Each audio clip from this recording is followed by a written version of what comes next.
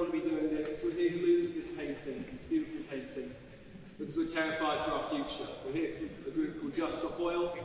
Um, we expect to be arrested today. Um, we're here because the UK government is pushing through over 40 new fossil fuel projects. And with every single project they sign, it's like signing our death warrants. My generation has no other choice but to take this kind of action. For 30 years, we've been outside Parliament with our banners and our flags, and for 30 years nothing has gotten done.